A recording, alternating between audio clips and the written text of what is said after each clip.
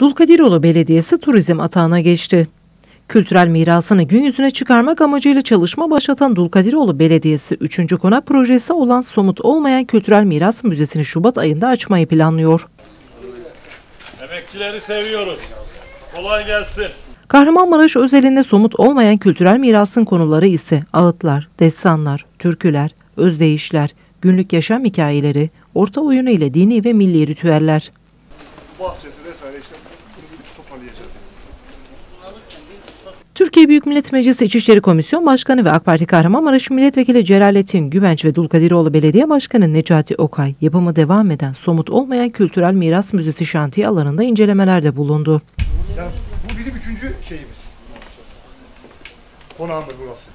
Dulkadiroğlu Belediye Başkanı Necati Okay yaptığı açıklamasında bu tarihi mekanda inşallah kültürel mirasımızın bir sonraki nesillere aktarılması için gerekli çalışmayı yapacağız dedi. Aynı şekilde bu üçüncü konağımızda e, restorasyonla ilgili projesini yaptık, ihalesini yaptık ve inşaatına başladık.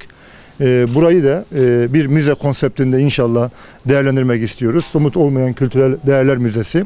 Yani unutulmaya yüz tutmuş ağıt, destan, türkü vesaire konularında burada kayıt altına alma, e, ozanlarımızı e, bu mekanlarda toplama, e, haftanın belirli günlerinde buralardan çeşitli etkinlikler yapma, e, bu e, sesleri kayıt altına alacak düzenekleri kurma şeklinde bir e, organizasyon yapacağız. Bu tarihi mekanda inşallah bu kültürel mirasımızın bir sonraki nesillere aktarılması için gerekli çalışmayı da inşallah burada yapmış olacağız.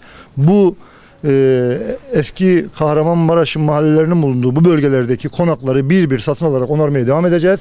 Bu bölgeler bizim en önemli turizm potansiyelimiz. İnşallah kısa zamanda bu bölgelerde yoğun bir şekilde Kahramanmaraş'ımıza gelen yerli ve yabancı ziyaretçileri bu bölgelerde inşallah dolaştırma hedefimiz var. Türkiye Büyük Millet Meclisi İçişleri Komisyon Başkanı ve AK Parti Milletvekili Celalettin Güvenç, Kahramanmaraş'ın turizmde çok büyük bir potansiyele sahip olduğunu ifade etti. Elbette bu şehrin eski konaklarının ihya edilmesi lazım. Geç kalsak bile ihya edilmesi lazım.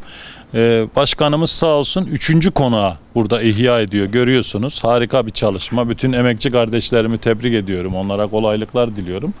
Bunlar gün yüzüne çıkmaya başladığı zaman bu bölge Demirciler Çarşısı'nın da ayağa kalktığını gördünüz. Ne kadar nezih bir ortam oldu.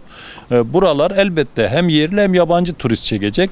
Bu işler emek istiyor. Bu işler kaynak istiyor. Bu işler samimiyet istiyor. Bu işler çalışmak istiyor. İşçisiyle, mühendisiyle, siyasetçisiyle, belediyesiyle. E, Dulkadiroğlu Belediye Başkanımız da bir orkestra şefi gibi bu işlere emek veriyor. Ben kendisini tebrik ediyorum. İnşallah artık Şubat ayında da gelir burada kahve içeriz, çay içeriz.